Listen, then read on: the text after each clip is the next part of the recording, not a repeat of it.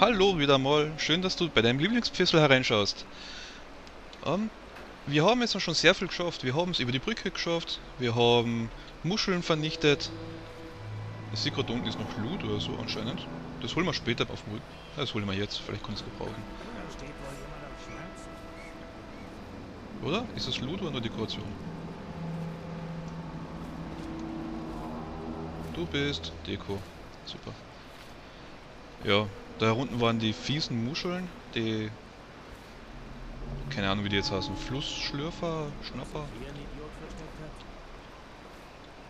Mal kurz schauen, was da oben so los ist. Da sehe ich nur einen, der ist aber aufgescheucht, weil ich natürlich eine Muschel mit dem mit der Pistole weggeschossen habe. Da hinten ist auch noch wer. Ich gehe lieber mal da hoch, um mal zu schauen, wo jetzt wer ist. Das ist ja mein gutes Recht. Schaff es da hoch? Oder stürzt es gleich auf?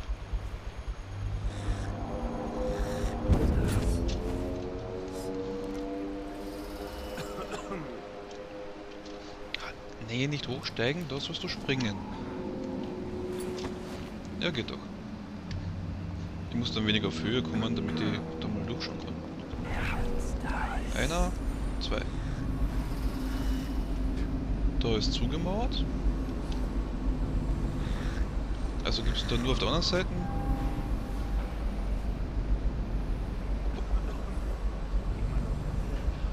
Weil ich will ihn natürlich nicht töten, aber wenn es halt nicht anders geht, muss es halt so sein.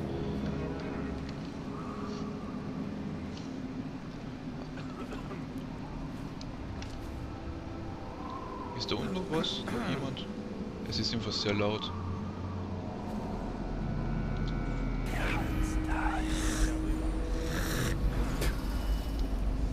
Ach, da ist noch ein Eingang und der schaut da nicht her.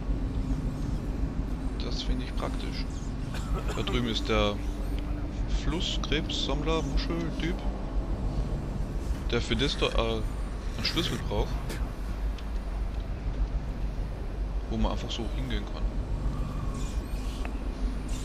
Ja, okay, er wollte natürlich auch nicht oben drüber. Okay, weiter geht's.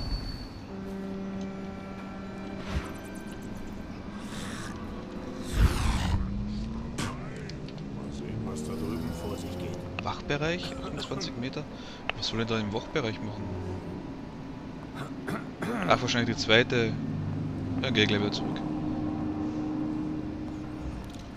Irgendwer ist da noch immer. Sobald der hinten sich umdreht, ist es sein. Naja, Schlafenszeit für den Typ.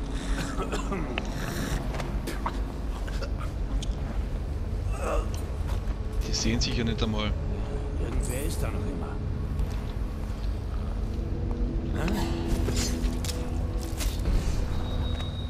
Tut mir leid.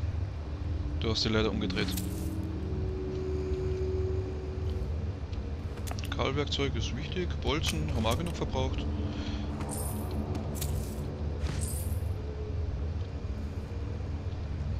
Alex Notiz. Ich glaube fast, dass der Typ da hochgehen will. Und wir haben jetzt gerade seine Flusskrebsmuscheln Perlen geholt. Warte hier und versteck dich, bis ich zurückkomme. Ich muss heute Abend noch eine Sache auf der anderen Seite der Zugbrücke erledigen. Ich werde die Perlen, die wir gesammelt haben, dem Boss bringen, also mach keinen Blödsinn. Wenn wir den Wachen etwas wenn mit den Wachen etwas schief gehen oder irgendetwas passieren sollte, geh zum Kanal neben dem Gebäude und sprich laut hinein, dann werden die Jungs dir zu Hilfe eilen. Alec. Der Kanal neben dem Gebäude. Gibt's da was? Ja, Wasser kann ich trinken. Du hast sonst auch nichts mehr. Bin gespannt, wie der unten reagieren wird, wenn ich... Ach, wahrscheinlich den, den Schlüssel, den wir holen müssen für den da unten, der wird da drüben sein.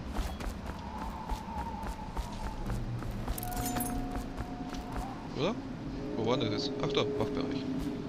Wäre schon wieder komplett dran vorbeigerannt. Da ist er.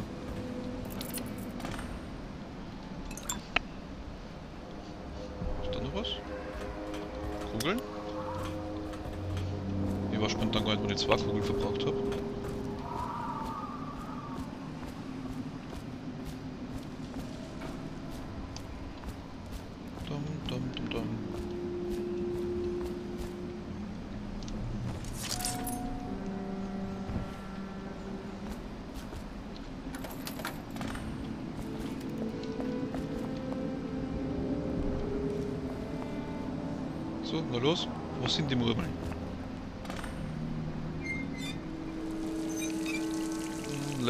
Ihrerseits gibt's heute nicht mehr viele ehrbare Leute. Hilf mir mal jemand. Du kämpfst wie Scheiße.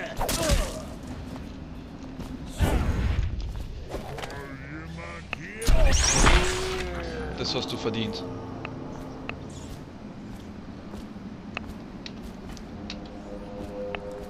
Eigentlich habe ich tiefer gezählt, aber das hast du auch verdient. Traue mittlerweile gar keinen Schläger mehr. Verdammten Typen.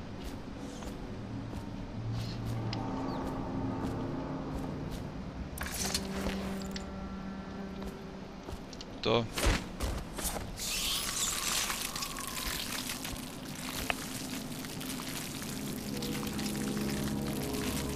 Aber die noch drauf herumreißen, das ist echt zart.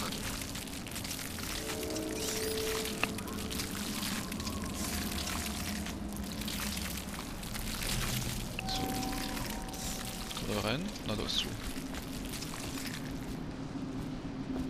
Aber wir denken beim Sokolov immer wieder Elixiere kriegen und anderes.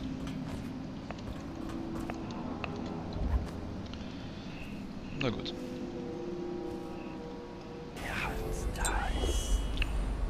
Hä? Ich wollte jetzt gar keinen Trank nehmen. Ach, hat jetzt automatisch genommen, weil ich so wenig Mana gehabt habe. Okay.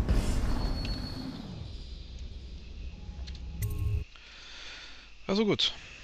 Auf zu Sokolov. Da vorne ist ein Elixier und irgendeine Rune wahrscheinlich. Irgendwas Wichtiges. Ich höre schon wieder. Sonst ist da nichts. Sokolovs Haus, also ist sie noch weiter weg.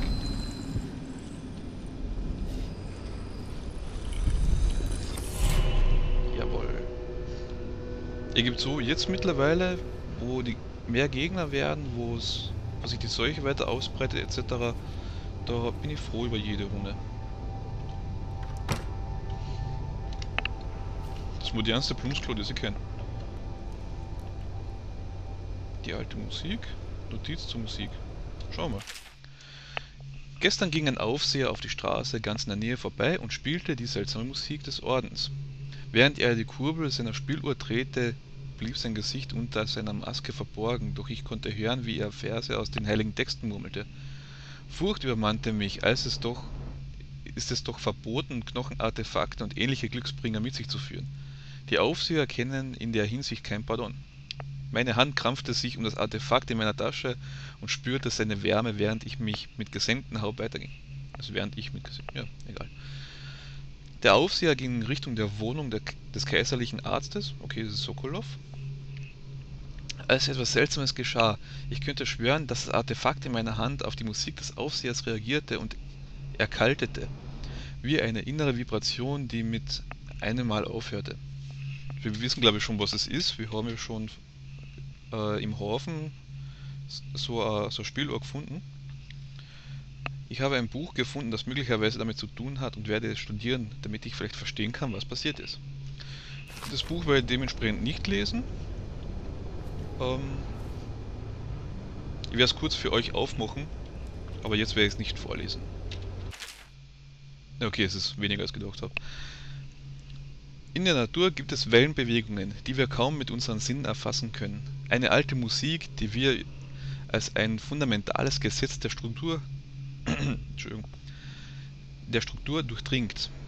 Mit ihr kann man Wunder vollbringen, ohne die Natur, ohne in die Natur einzugreifen oder unfreundliche Geister um Gefallen zu bitten. Interessante Theologie. Bei meinen Studien habe ich eine 17 Noten umfassende Tonleiter entdeckt, okay, die auf diesem Phänomen, also Phän äh, kann kein Deutsch mehr, die auf diesem Phänomen basiert. Mit den richtigen Gerätschaften gespielt besitzt diese Note erstaunlich, besitzen diese Noten erstaunliche Auswirkungen. Eine besonders wichtige ist die, den Sturm zu stillen, der aus dem Nichts entsteht, was wir als das Werk des Outsiders ansehen. Ja, okay. Das ist der, der eine Kurbelanzug, den wir schon mal kurz getestet haben, der uns das Mana komplett blockiert. Was zu essen. Aber schauen wir mal kurz nach, vielleicht kann man wieder was aufbauen. Hier haben wir wieder eine Rune. Beweglichkeit. Das Verbrennen, tödlicher Schwarm, beschwört einen Rattenschwarm, der andere angreift und nach kurzer Zeit verschwindet. Der Schwarm verzehrt außerdem Leichen.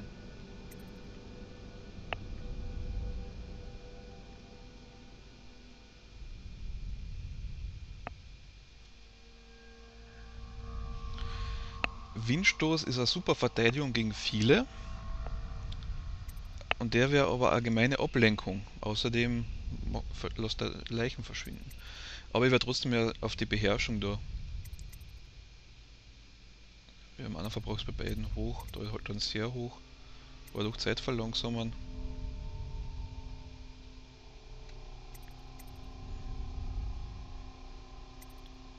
Weiß ich nicht.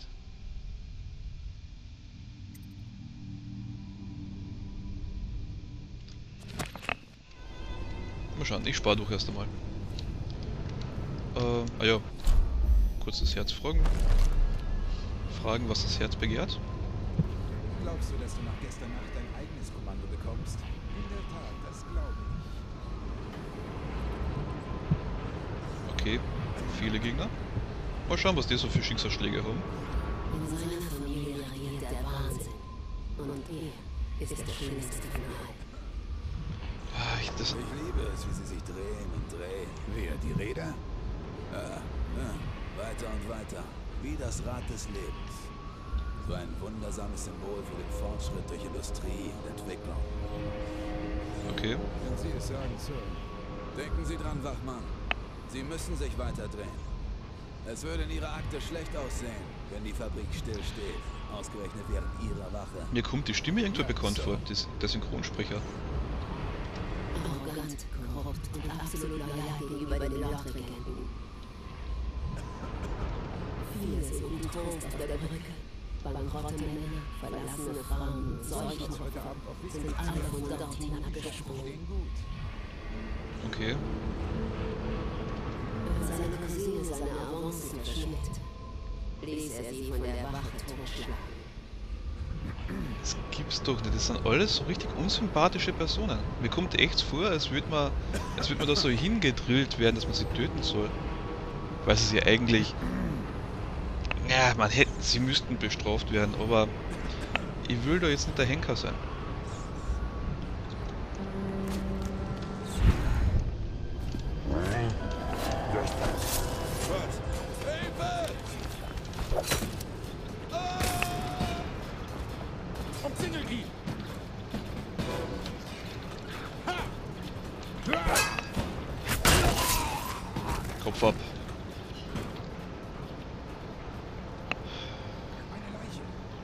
Jemand bezahlen.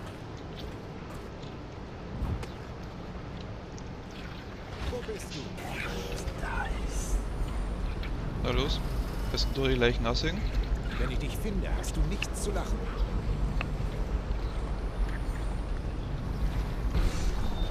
Ich weiß, dass du hier bist. Du bist glaube ich der Einzige, der es überleben wird.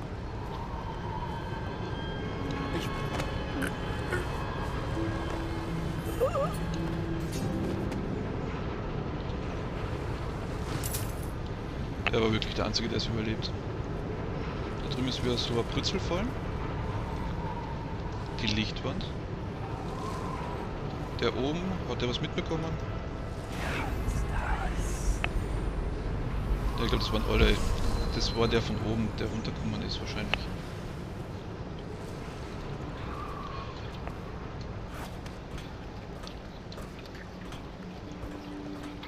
Ach, das sind schon wieder diese komischen Muscheln. Aber da gibt es noch was zu essen. Wir schauen mal, was da unten noch so gibt. Und hier können wieder ein bisschen zielen üben.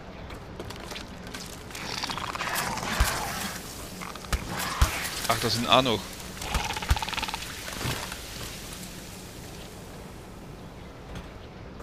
Ich mag die nicht. Und so ein komischer Hexerfisch.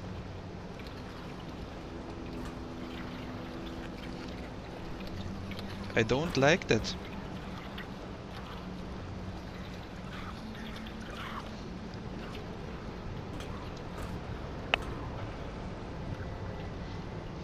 Ich finde es übrigens extrem realistisch, also das muss ich echt zugute heißen, dass der an Sturzschaden äh, gestorben ist. Weil ich glaube nicht, dass der Schlag mit, mit Schwung so viel, also so kritischen Treffer verursacht hat. Und schaut euch mal mein Schwert an, das ist schon komplett blutrot, so blutrot metallic. Würde mich interessieren, ob man das wieder irgendwie overwaschen kann oder so. Oder ob das generell mein, mein Spülverlauf versinnbildlicht. Naja.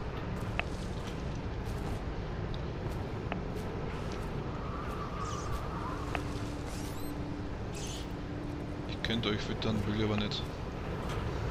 Nicht jetzt.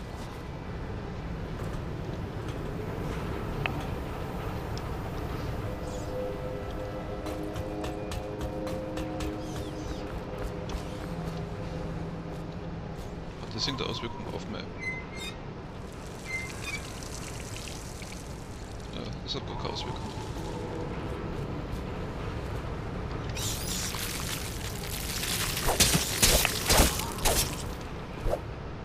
Ich habe deswegen einen Rottenschwarm von.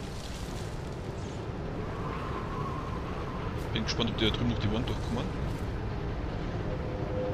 Na, die, spawnen einfach so. Okay. Weiße Rotten. Ich habe deswegen den roten Schwarm da jetzt gerade weg ähm, dezimiert, damit sie mich nicht noch als nächstes angreifen.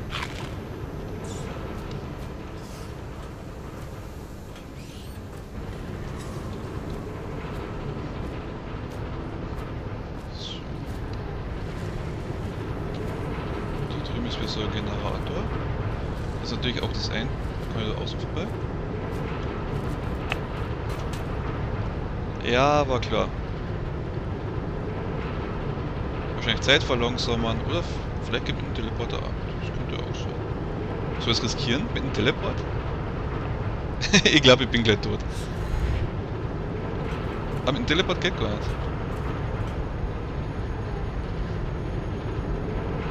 Okay. Dann mach ich anders. Dann mach ich mit dem Teleport von oben. Weil ich weiß, ich muss da rein, ich muss hinter diese Mauer kommen. Und das sind überall Stacheln.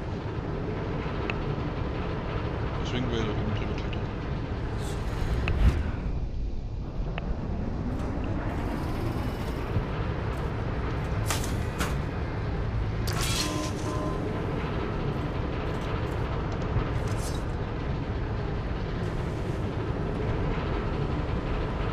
Cooles Gimmick. Ja, die- Wie wohl diese fiesen Fische, ich hasse die. Könnt ihr was rausnehmen? Nein, nein.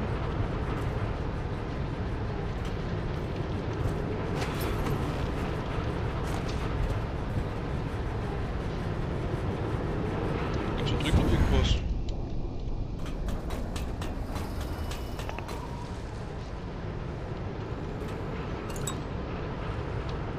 Den kann ich die Räder aufschalten, oder? Ja. War klar. Kann man wieder einschalten.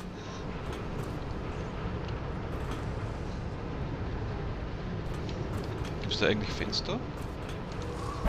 Ja, da war Fenster, also hätte ich gar nicht her teleportieren können. Das war nicht mein erster Plan.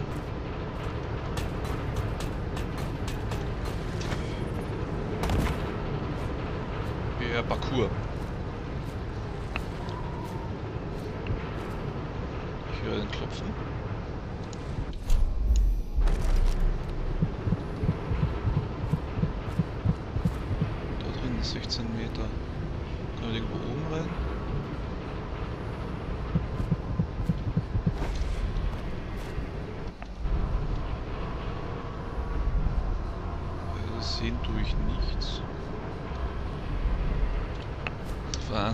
markiert, also muss ich da oben rein.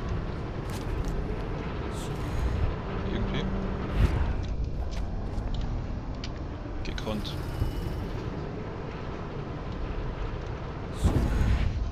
Irgendwie so, mir gefallen diese Jump'n'Run-Analog irgendwie total. Es ist so Ego-Perspektive. Ähm, Prince of Persia.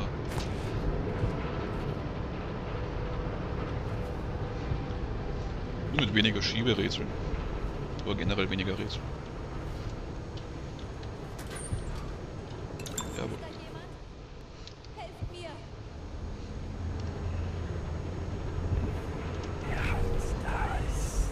Okay. Zuerst noch kurz was essen.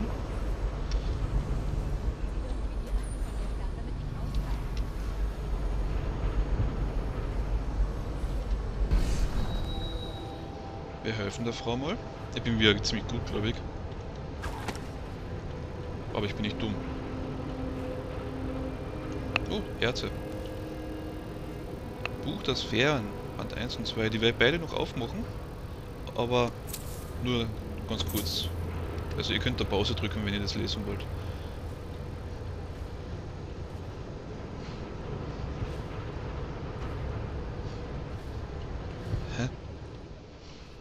So, okay.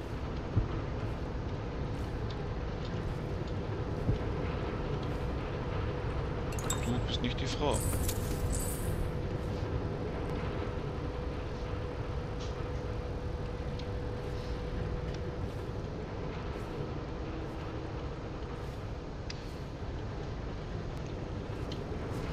Ah ja, die Bücher aufmachen. Haben wir das? Das reicht. Und einmal das. So.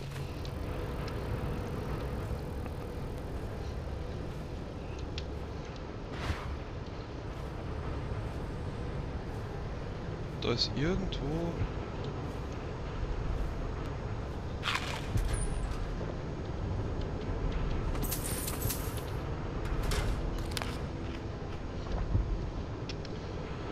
Wird wahrscheinlich unten sein, oder? In der Nähe von dem Knochenartefakt.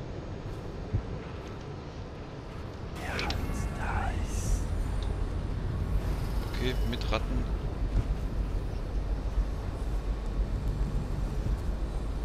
Ah, gemein. Aber ich weiß schon, wie es machen werde. Ich werde da jetzt ein Rad, also eine Leiche rüberwerfen und eine Granate drauf.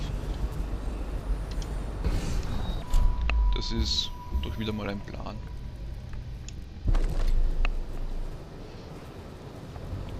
Man muss nicht unbedingt.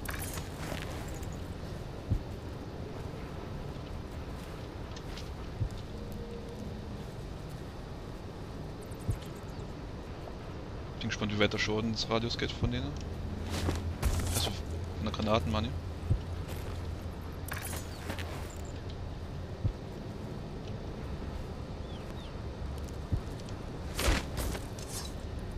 Kommt der? Na los? Geht doch.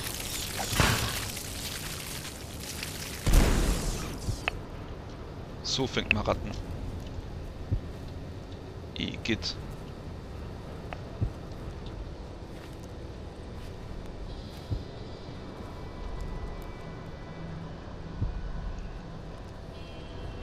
Danke für die Hilfe. Ich dachte, ich wäre sicher, aber da waren Ratten. So viele Ratten. Das ganze Lagerhaus verseucht. Ich weiß, dass manche Leute nicht an sowas glauben, aber ich schwöre, die Ratten kamen, nachdem ein Mann hier durchgegangen ist und ein Amulett umhergeschwenkt hat. Es sah aus wie aus Knochen. Aber jetzt ist er tot, so wie alle anderen von hier. Okay.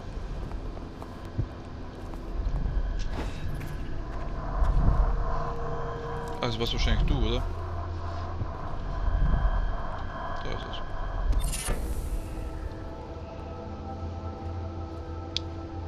Drei. Ja, die anderen haben wir leider drüben liegen lassen.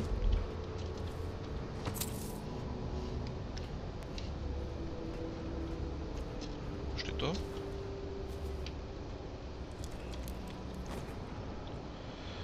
Tyrions Tagebuch. Das lese ich mal kurz. Wenn es nicht zu lang ist. Es ist viel zu lang. Haben wir los. Ihr könnt pausieren. Aber ganz unten. Reicht. So viel lesen möchte ich jetzt echt nicht.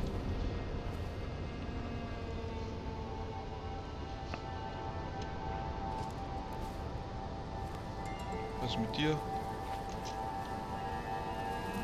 Ah, da wieder irgendeine Leiche. Okay. Ja, dann gehen wir wieder nach oben.